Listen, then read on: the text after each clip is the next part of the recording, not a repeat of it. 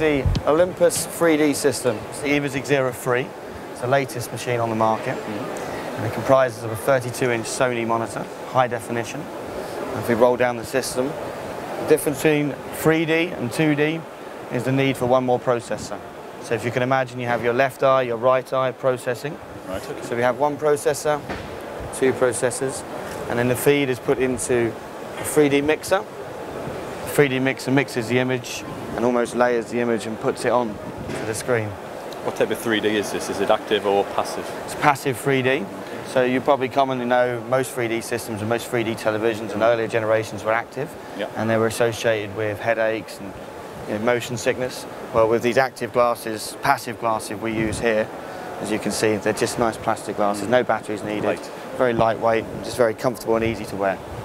And we also have Sony glasses, and Sony and Olympus are together innovating on these new products.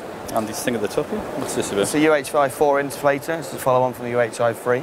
Has a higher flow rate. Also, when used with Thunderbeat, our surgical energy device, uh, you have automatic smoke and mist evacuation. And without using Thunderbeat, if you're using a, another product, you could always use your foot pedal. And, And rolling down, very important, we have a record. high definition image recorder. It's an image management hub. It also does videos and it's a twin flow, dual flow. So you've got two channels, which means you're able to record 3D and 2D. You can export to Blu-ray, DVD, um, USB dongle, USB hard drive. You can also connect this up to a network if you wish to. Or you could use it with our EndoBase system, which will give you a more of an integrated system and a reporting software as well It has an internal memory of 500 gigabyte, which approximately is about 58 hours of high definition recording. So this is the Endo-Eye Flex 3D. It's following on from the Endo-Eye range that Olympus uh, launched to the market. Uh, Endo-Eye is an integrated video camera. We started with an Endo-Eye Flex 5mm high definition.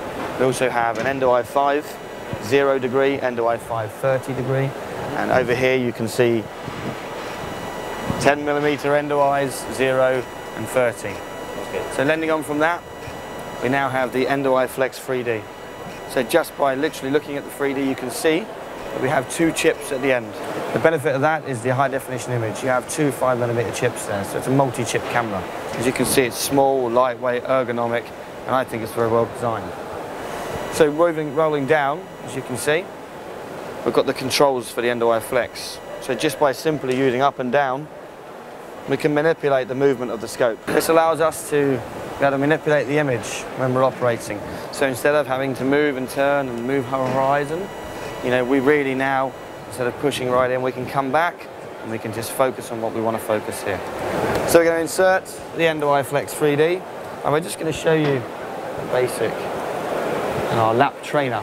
So as you can see, when I'm holding the camera, now, instead of moving left and right now, I can just use the buttons, I can use the levers, and I can control the movement of this camera very, very easily.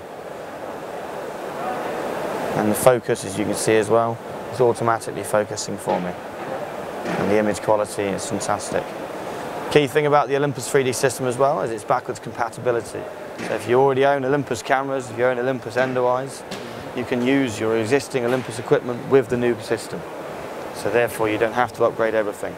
You don't have to just be 3D, this is a full 2D stack.